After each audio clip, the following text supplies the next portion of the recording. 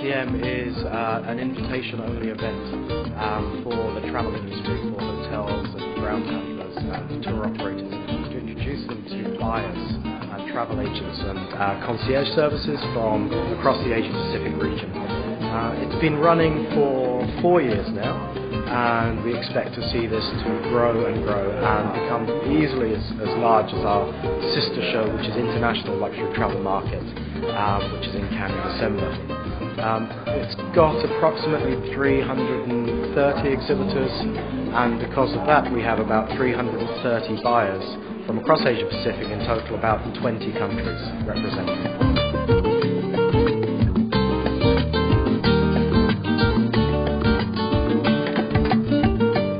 Yeah, what we're finding actually, especially if you're talking about the Chinese market, is that the buyers and the clients, the agencies are here, are evolving and changing in their demands so quickly.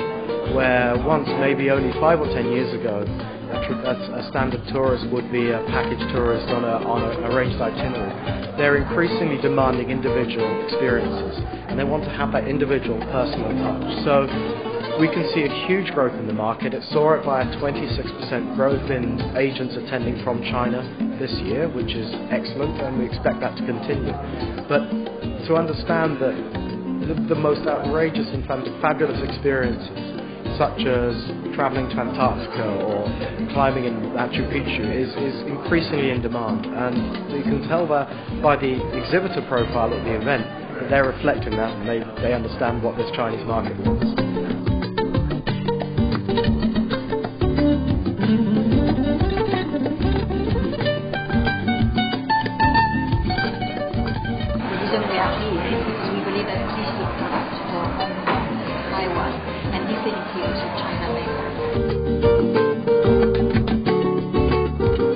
ALTM is actually fits into our criteria.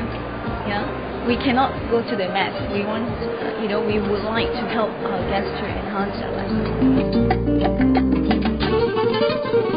I think we saw a very uh, big dip last year with the economic crisis that uh, people stopped traveling or start spending. But I think people are saving up for it, and now they are willing to spend again for a luxury experience. We are very happy to be here in Shanghai representing India and particularly South India.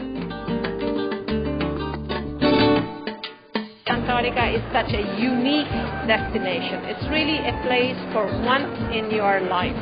Well, I'd like to welcome the Asian market to Las Vegas. We're excited for you coming. We're excited for the interest, and we can't wait to see you very, very soon in our city.